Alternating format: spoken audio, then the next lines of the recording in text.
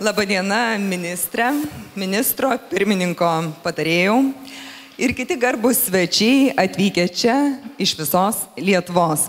Šiandien turime ypatingą progą pagerbti ir apdovanoti tuos, kurie pastaruosius metus gražino ir puoselėjo Lietuvą. Siekiant apibendrinti pasiektus 2007-2013 metų finansavimo laikotarpio rezultatus, pažymėti ES paramos lėšų reikšmę Lietuvo žemės ūkiui ir kaimo plėtrai, nacionaliniai mokėjimo agentūrai patikėta organizuoti geriausių projektų įgyvendintų pagal Lietuvos kaimo plėtros 2007-2013 metų programos priemonės rinkimus ir pakviesti jūs į šią gražią šventę. Todėl dabar kviečiu žodį tarti nacionalinės mokėjimo agentūros direktorių Erika Bėronta.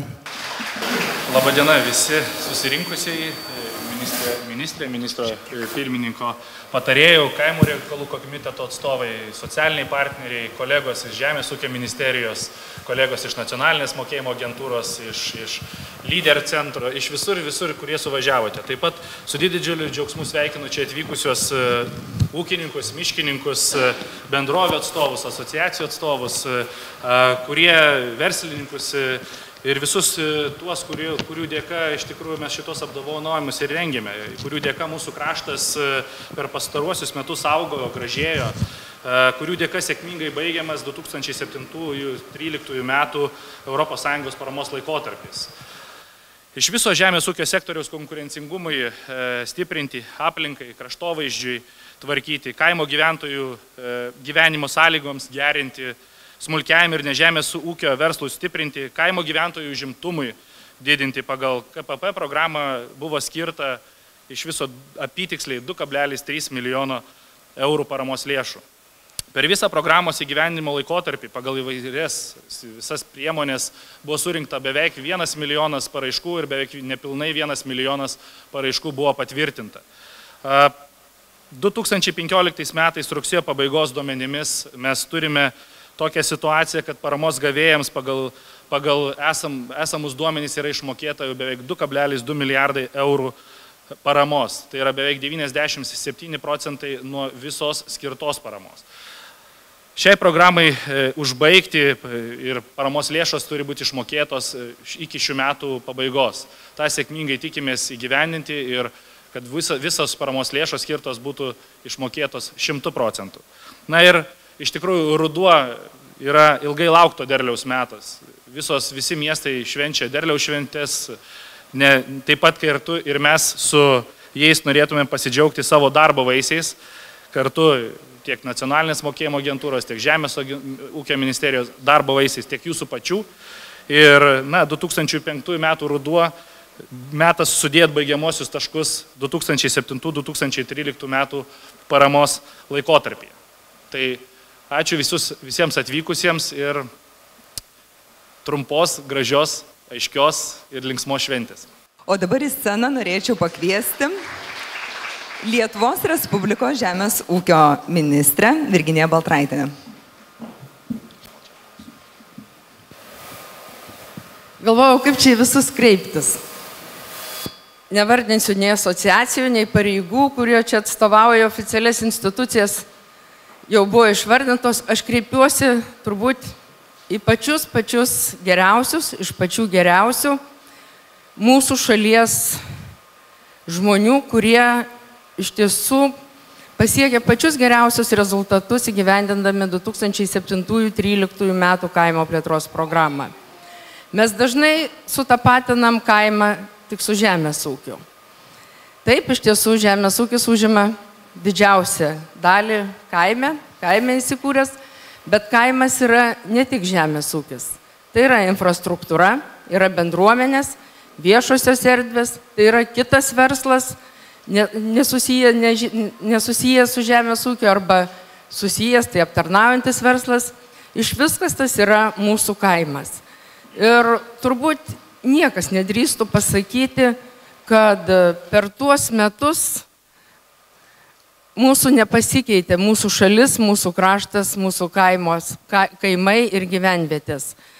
Na, pati labai daug važiuoju ir matau, kokie, kokios nuostabios sodybos kuriasi, kaip gražiai sutvarkyti ir sutvarkytos gyvenvietės, kiek daug įrengta visokių žaidimo aikštelių, e, sutvarkytos viešosios erdvės, turizmo pastatai, e, rekreacinės zonos. Ir viskas tas yra mūsų kaimas, mūsų gražus, nuostabus kaimas ir visas, visa tai yra pasiekta jūsų jėgomis, jūsų darbu, jūsų idėja, svarbiausia pačia idėja, tikėjimu ir noru kažką pakeisti. Ne tik tai savo gyvenime, bet savo aplinką, kurioje jūs gyvenate, e, žmonių, kurie yra aplinkui supratimą ir tuo pačiu keičiant visą mūsų šalies įvaizdį. Tad aš noriu ilgai nešnekėdama iš širdies jums padėkoti pasakyti didžiulį ačiū už tai, ką jūs padarėte. Nes nesvarbu, kad tai buvo naudojamos kaimo plėtros programos pinigai, daugeliu projektų reikėjo pridėti nemažą sumą savo pinigų.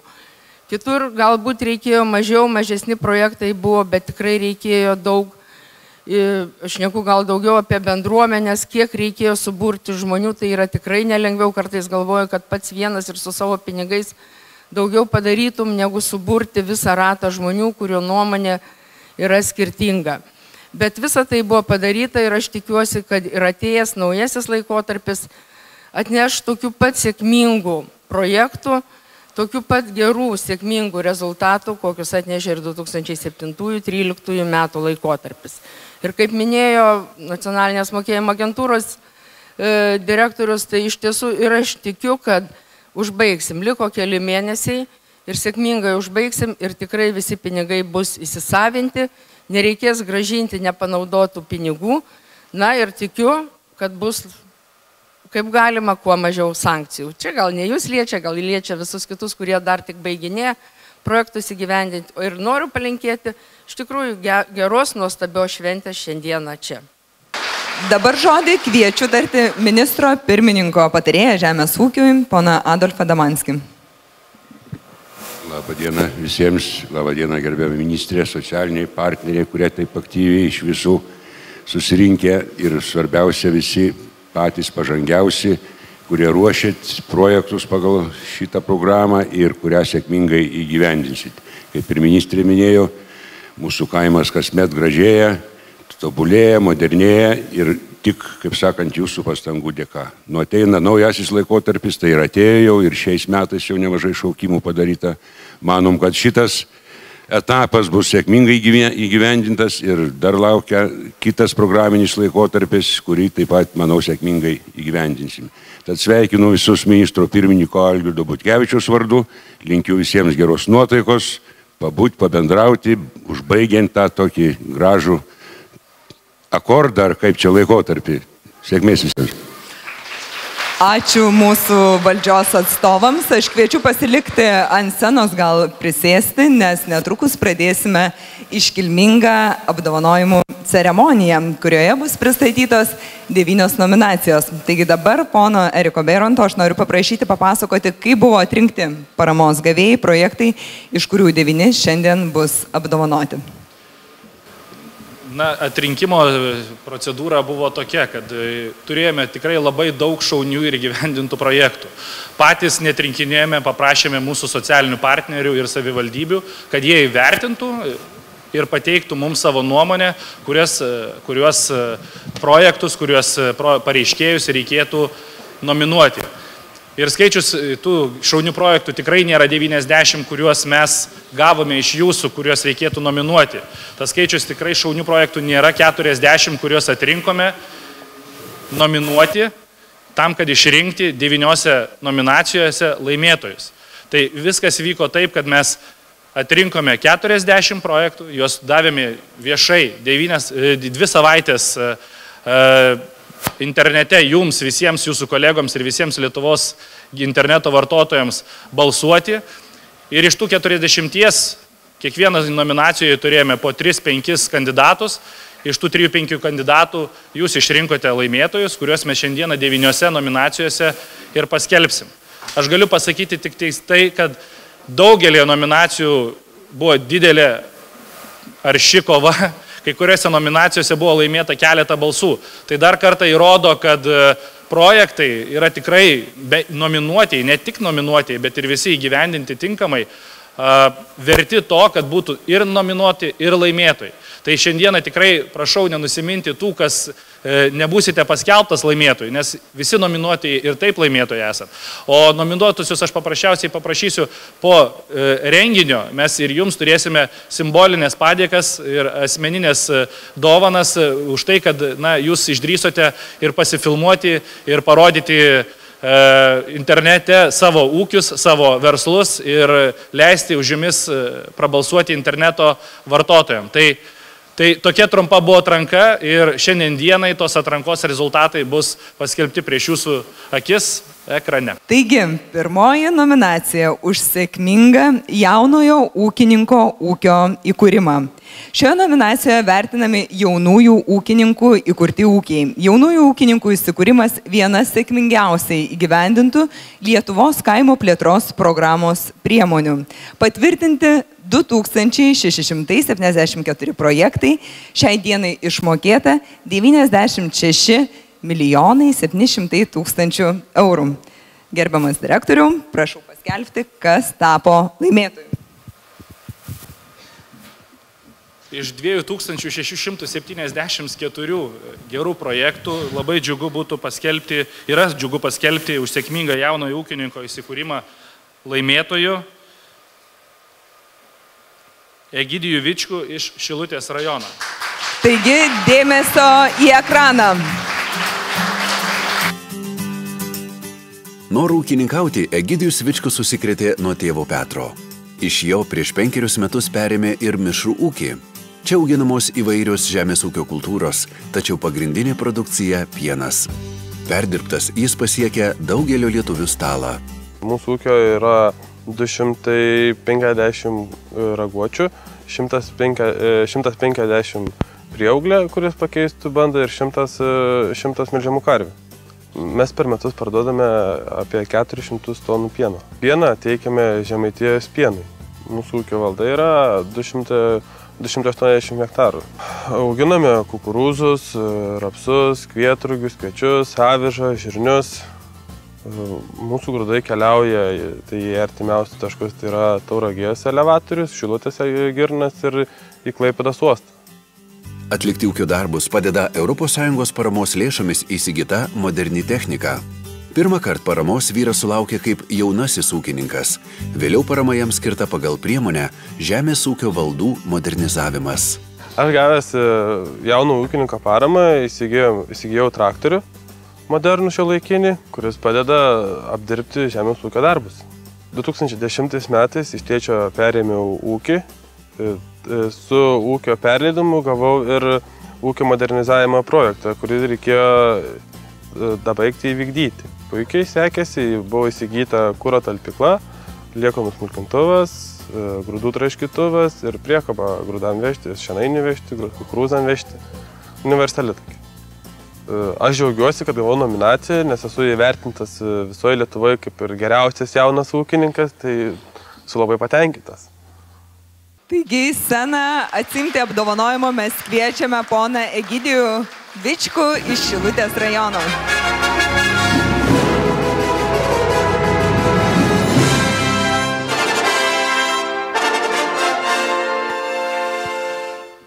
padėką gerbiamai Gidijui Vičkui už sėkmingą jaunojo ūkininko įsikūrimą finansuojant pagal Lietuvos kaimo plėtros 7-13 metų programą. Ministras pirmininkas Algirdas Butkevičius.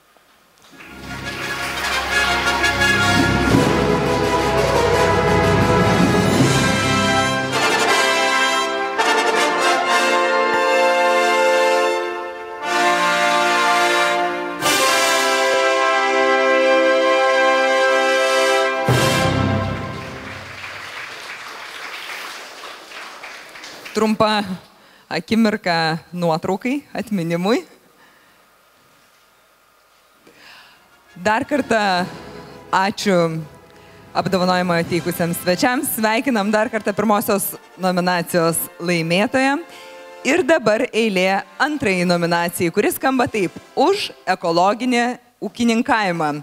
Šioje nominacijoje vertinami sėkmingai plėtojami ekologiniai ūkiai. Pagal ekologinio ūkininkavimo programą parama pasinaudojo 12 316 ūkininkų, jiems išmokėta 165 milijonai eurų. Prašau paskelbti, kas tapo nominacijos už ekologinį ūkininkavimą nugalėtojų. Laimėtojų už ekologinio ūkininkavimo plėtrą skelbėme Feliksą Vaite, Vaitelį Kėdainių rajonas. Dėmesio į ekraną.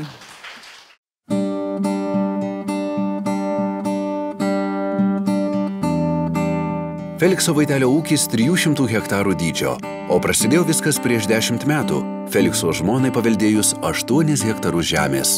Šiandien prižiūrėti didelę valdą padeda du kaiminystėje įsikūrę sūnus ir trys samdomi darbininkai. Šiaip pas mūsų ūkėje sėjomaina sudaryta yra pusė sėjomaina sudaro daugiametį žolės, daugiausiai dobilai, o, o kitas už, sudaro įprastinės grūdinės kultūros, tai žirniai, mėžiai, kvietrugiai, kviečiai.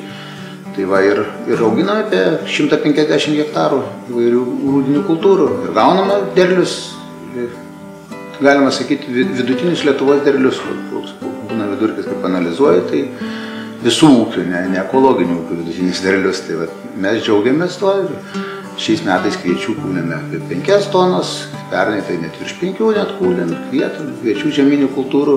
Mes parduodam tarpininkam, kurie, kurie užsima grūdų eksportavimo. O šiaip ūkiai auginame, laikome apie, panašiai apie 170, 160, nu, įvairių laikotarpių, įvairių limuzino, veislės, mėsinių galvijų. Feliksas sėkmingai dalyvavo 2007-2013 metų ekologinio ūkininkavimo programoje. Ekologiškai nusprendėme ūkininkauti 2005 metais. Mūsų ūkis mišrus laikom galvijus ir prieš tai jau matydavom, kad tie gyvuliai geriau ėda tą žolę, kuri yra netrešta, o ta trešta pasilieka vėlesniam laikui, kai jau neturi ką ėsti. Ir aišku, paskatino ir atsiradusias kompensacinės išmokos už ekologinį ūkininkavimą, nes ūkis pakankamai buvo intensyvus ir ekonomiškai labai apsimokėjo. Paskiau jau pasidarėm jau tikrai idėjiniai ekologiniai ūkininkai dabar. Tas paramos turbūt, kad ir nebūtų.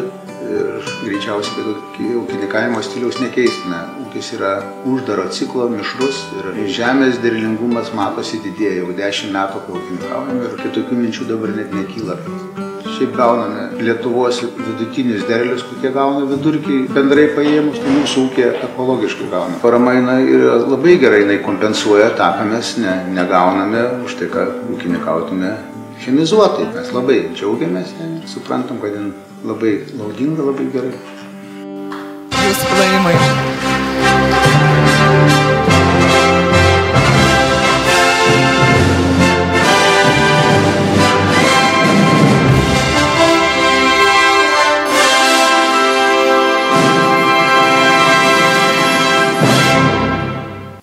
Aš noriu paskelbti trečią nominaciją, kuri skirta už miško puoselėjimą ir gražinimą. Šioje nominacijoje vertinami miškininkystės sektoriaus projektai.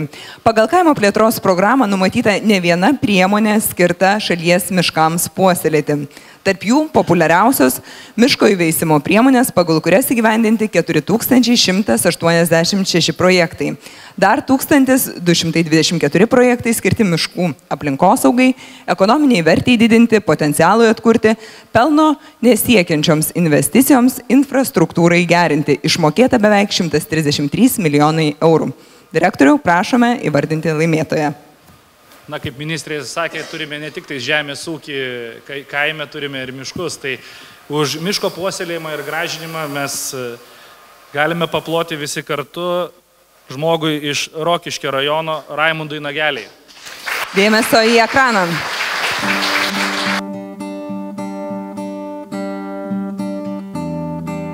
Pirmasias žemės ir mišką Raimundas Nagelė paveldėjo iš senelių ir tėvų. Dalis šitų miškų yra mano, tai nėra didelė dalis palyginus su čia esančiais plotais, bet dalis miškų yra mano ir aš būtent labai džiaugiuosi, kad nesibarščiau, nesimėčiau, o būtent siekiau, kad ir e, įsigyti mišką būtent vienoje vietoje, vienam masyvė, vienoje girninkyje, galbūt vienam rajone.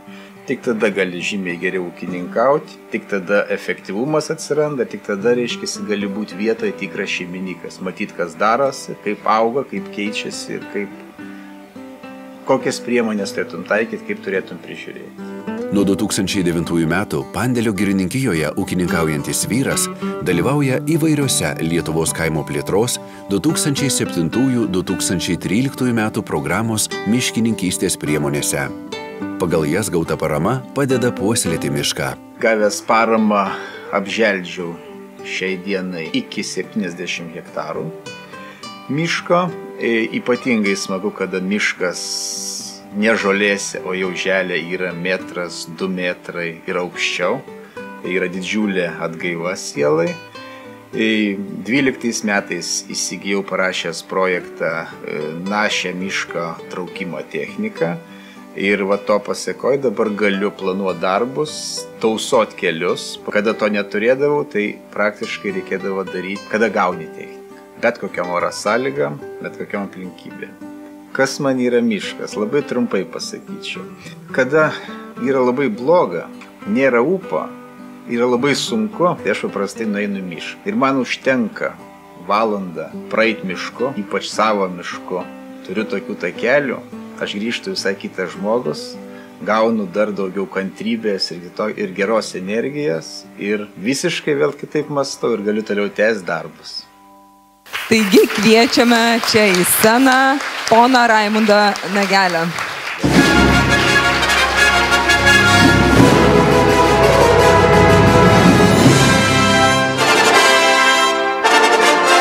Ir noriu paskelbti ketvirtąją nominaciją už modernų ir pažangų ūkį smulkiems ir vidutiniams ūkiams.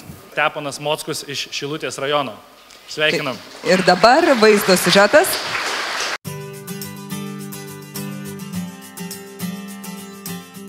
Anksčiau dirbęs girininku Stepanas Mockus ūkininkauti nusprendė prieš penkerius metus, kuomet iš Eigulio ir ūkininko tėvo paveldėjo 8 hektarus žemės. E, Suodinė turim pasodinę daugiausiai obelų 2 hektarai, 4 eilės kliaušių, lyvų 20 sarų. Trešnis man labai skanios buvo, tai jų daug pasodinau. Toliau eina ogakrūmiai, 4 eilės aviečių, 3 eilės e, gervogių, apie 70 sarų šilavogių. Dar vynogių kelias e, krūmelius pasodinau ir išplėčiau jas daugindamas. Produkciją parduodu aplinkiniams vietiniams žmonėms turiu galvoj sodo produkciją. E, dauguma žmonių patys susiskina, jiems įdomu netgi iš miesto atvykus e, po sodą pavaikščioti. Ir... Sukurti nedidelį, bet sėkmingą ūkį Steponui padėjo ES parama.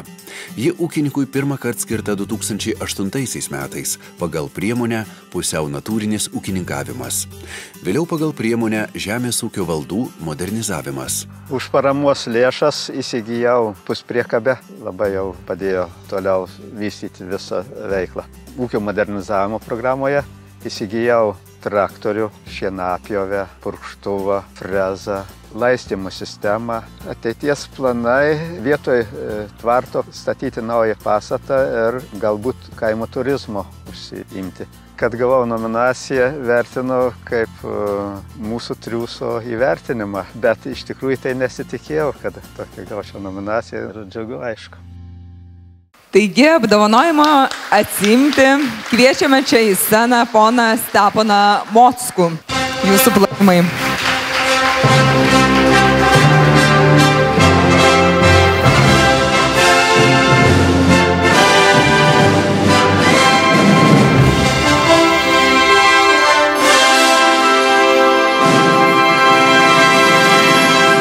Dabar atėjo laikas penktai nominacijai, kur yra už modernų ir pažangų ūkį šį kartą stambiems ūkiams. Egidijų Gečia iš Šilalės rajono.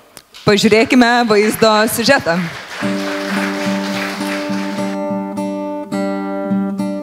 Egidijus Gečas ūkininkauti pradėjo nuo vos šešių gyvulių. Šiandien jo banda daugiau kaip šimtą kartų didesnė, o ūkis ne tik išplėstas, bet ir šiuolaikiškas bei kur kas našesnis gyvulinkystę e, pasirinkom, e, tiksliau, ko gero, jinai mumis pasirinko. Kadangi tėvai e, turėjo laikę gyvulius dar, dar tarybiniais laikais, tai tas tesinumas ir išliko iš tikrųjų. Jie laikė jau savo laiku mes pratesim tą tradiciją. Ūkininkauti pradėjom prieš 15 metų rimtai šitoje vietoje, kur yra dabar jau bazė įsikūrusi mūsų tikroji. O ūkis registruotas yra 1996 metais. E, šiai dienai laikome 740 gyvulių su prieaugliu, melžiamų karvių 250 ir, ir jaučiai, kurie yra auginami pakeisti miestai.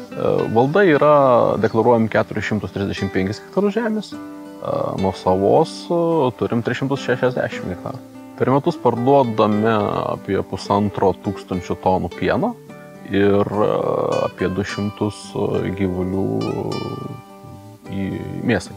Supirkėjai yra pieno, pieno žvaigždės, vienareikšmiškai mes nuo pat pradžių bendradarbiaujam ir, ir nesikeičia partneris to vietoj, o mėsą, gyvulius, ta prasme, parduodam, tai Utenos mėsai, Krekenavai, dabar pradeda po truputį jau pirkti ekologinę produkciją.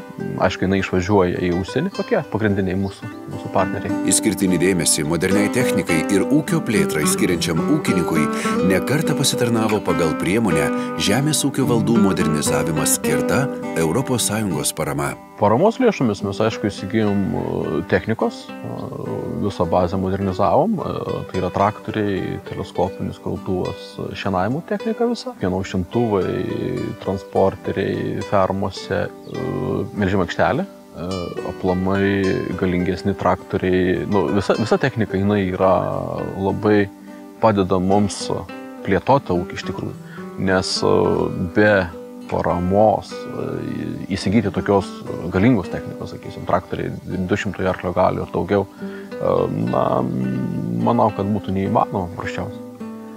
Didžiausias mūsų rūpestis dabar yra pasistatyti užtrukusio kario fermą, toliau atsinaujinti techniką, pieno užimtuvo pasididinti ir pasižiūrėti įrangos dar, nes jau įranga irgi dėvisi stipriai.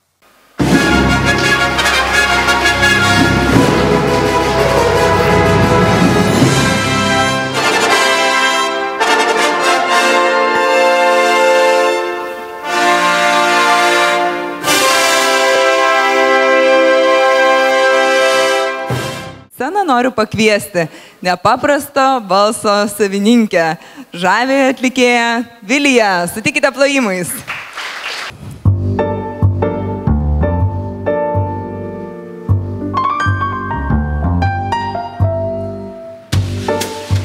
Did you think that you could get me, boy? Thought you could buy me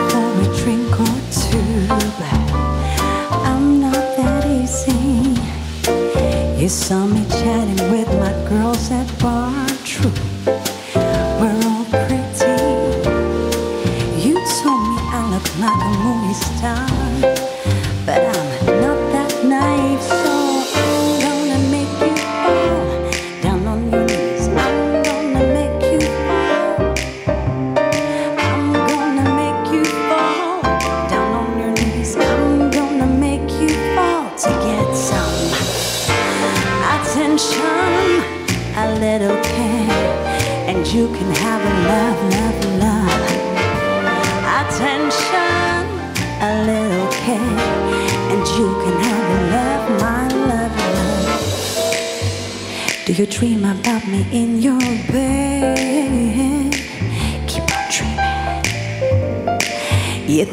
give it to you all I have. Wait, not the first night. You said that it might be the love first sight. Oh, Joe says you told me you're the best I'll ever have, but I just don't believe so. I'm gonna make you fall down on your knees. I'm gonna make you fall. I'm gonna make down on your knees. I'm gonna make you fall to get get some attention, a little care, and you can have a love, love, love, love, some love, attention, a little care, and you can have a love, my love. I'm not gonna ask you buy me diamonds. No, no, no, no, no. Just behave yourself. Treat me very well. Give me some attention, a little care, and you can have a love, love. Attention, a little care, and you can have a love, love, love, love. Attention, a little care, one love. Attention, a little care, and we can have love, one love, love. A, Mums liko keturios nominacijos iš devinių. Taigi šeštoji nominacija yra už modernų ir pažangų ūkį. Tai yra Padovinio žemės ūkio bendrovė. Sveikinam. Ir dėmesio į ekraną.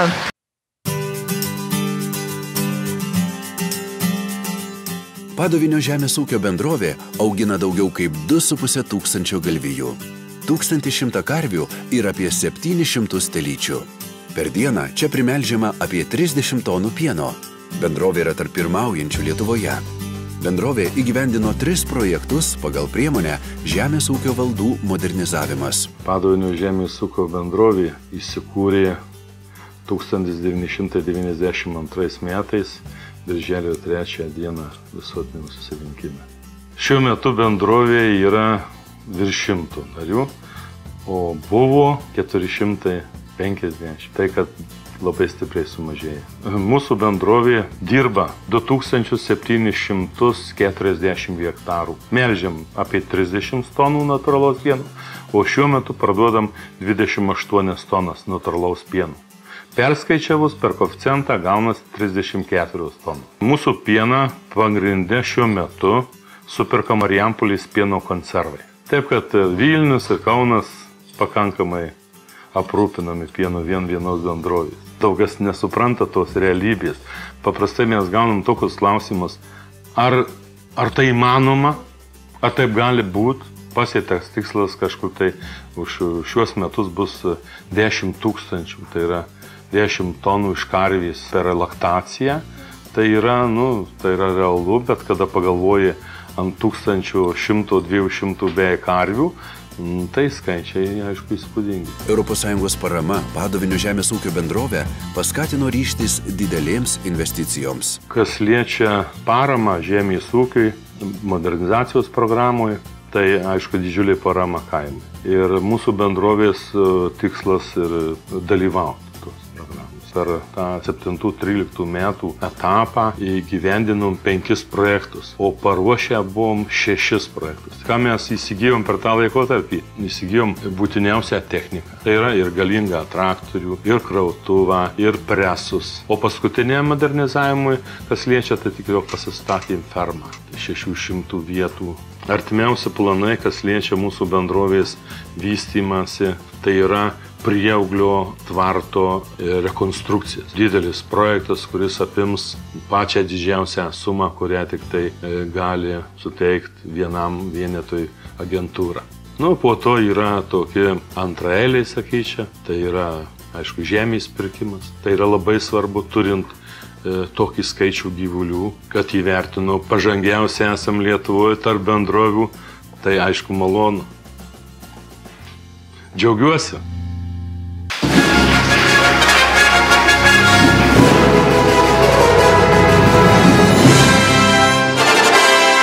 O dabar leiskite paskelbti septintąją nominaciją. Jis skamba taip - už verslo plėtrą kaimo vietovėje. Ir šiandien skelbėme už verslo plėtrą kaimo vietovėse e, nugalėtojų Laimutė Sadauskinė iš Rokiškio rajono. Ir dabar pažiūrėkime į ekraną. 1995 metais bankrutavus vietiniai Juodupės miestelio kepyklai, konditerės įsilavinimą turinti laimutė ryžosi imti savo verslo.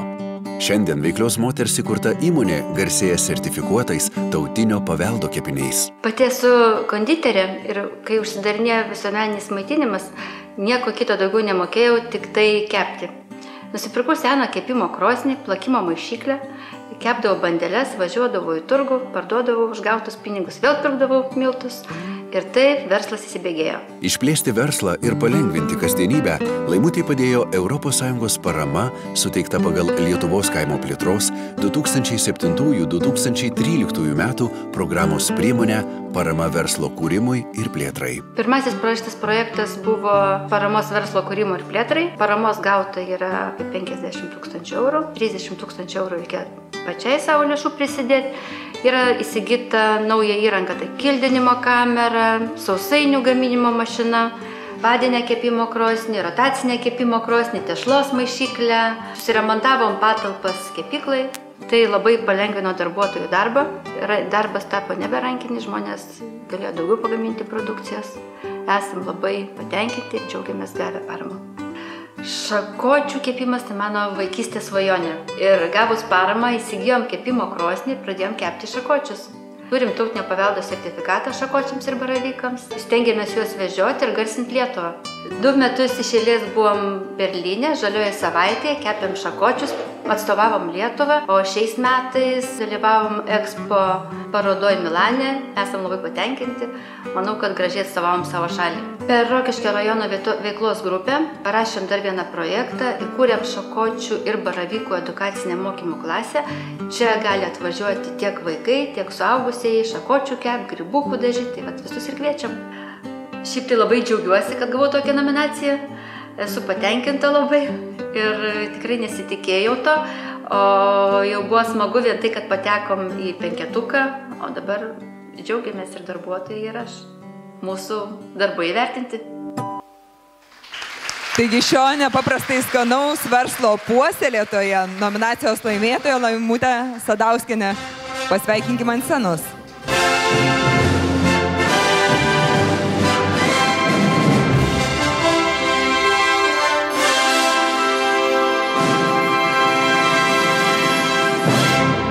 Turbūt kiekvienas turime savo pamėgtą kaimo turizmo sodybą, tačiau šiandien dieną geriausių skelbėme už turizmo plėtrą kaimo vietovėse projektą, kurį įgyvendino Egidijus Blažauskas iš Alytaus rajono. Ir jūsų Sveikinam. dėmesys į ekraną.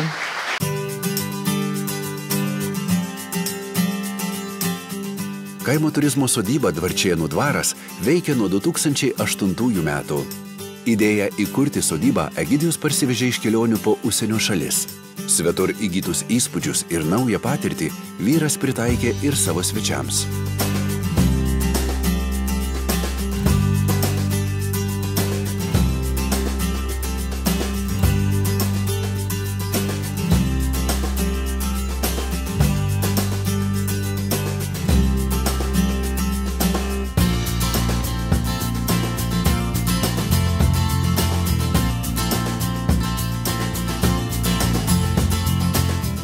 Egidijus nepabūgo viską kurti nuo nulio. Įgyvendinti svajonę jam padėjo ES parama. Pirmą kartą vyras jos kreipėsi dar 2005-aisiais. Vėliau, pagal 2007-2013 metų programos priemonę Kaimo turizmo veiklos skatinimas.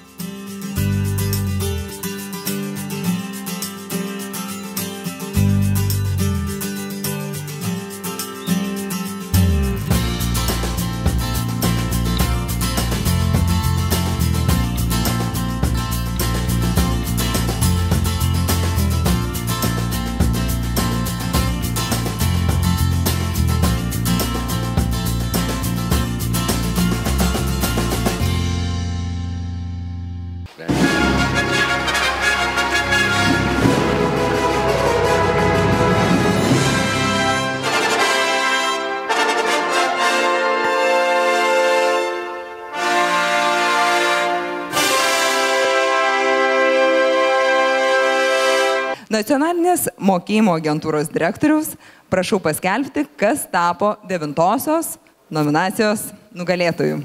Tai už gražesnės kaimo aplinkos kūrimą skelbėme laimėtojų Ukmergės rajono Veprių seniūnyje. Savaime aišku, kad iš Ukmergės rajono.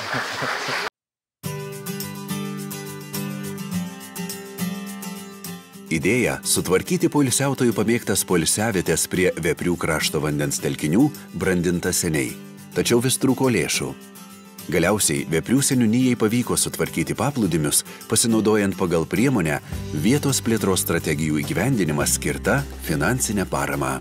Mes esame pagrindinėme Veprių ežerų paplūdimyje, jis išplėstas, rekonstruotas, įgyvenindant projektą prie Šventosios upės įrengtas gražus paplūdimys su pavėsinė, su pynėmis, su nusileidimo laiptais, su tinklinio aikštelė, tualetais, šiukšliadėžėmis. Taip pat prie Veprių ežero įrengtas mažasis paplūdimys, kas ypatinga jame labai e, įrengti gražūs akmeniniai nusileidimo į paplūdimį laipteliai. Čia yra įrengtos vaikams supinės, smėlio dėžė tinklinio aikštelė, stalai, suolai, pavėsinė ir kiti renginiai. Taip pat dar prie biečių tvenginio įrengta irgi labai laik, nauja, graži šio laikiška polisiavėtė.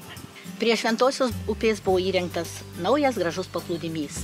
Prie jo įrengimo labai prisidėjo mūsų projektų partnerė Veprių kaimo bendruomeniai.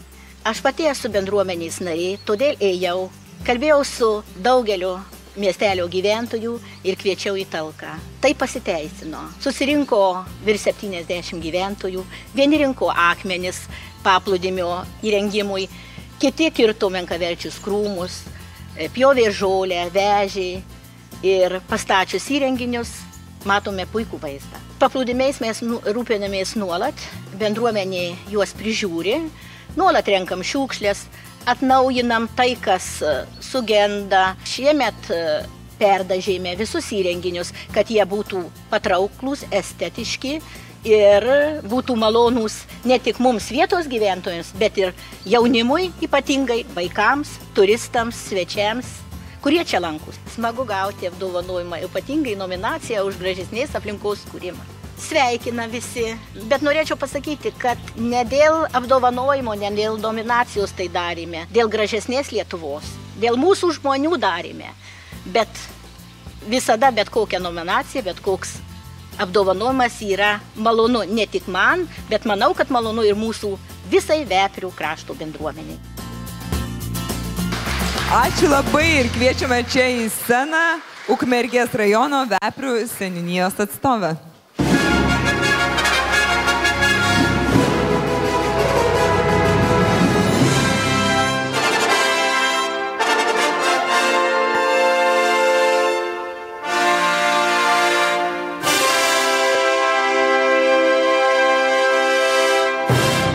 O dabar paskelbti ceremonijos pabaigą. Kviečiu direktorių Eriką Beirontą.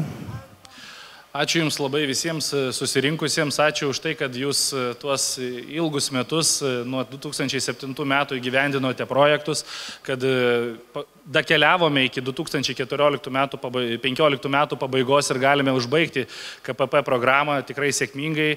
Ir dar paskutinius štrichus turime sudėti paskutiniais mėnesiais, bet manau, jie tikrai bus tinkami, geri ir, ir mes padirbėsime, ir mūsų paramos gavėjai padirbės ir tikrai galėsime užbaigti šitą programą. Na, o jau naujoji programa 14-20 metų yra prasidėjusi, turėjom tikrai daug e, šaukimų.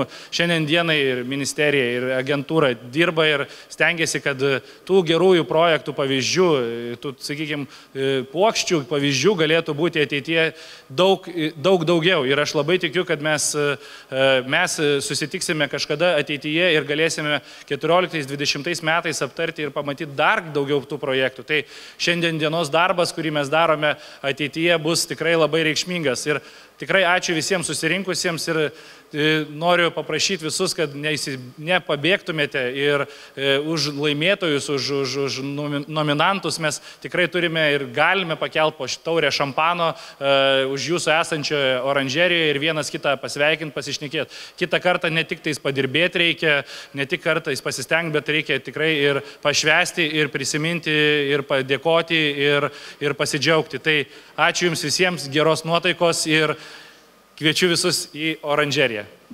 Ačiū visiems, o aš kviečiu dar susitikti bendrai nuotraukai.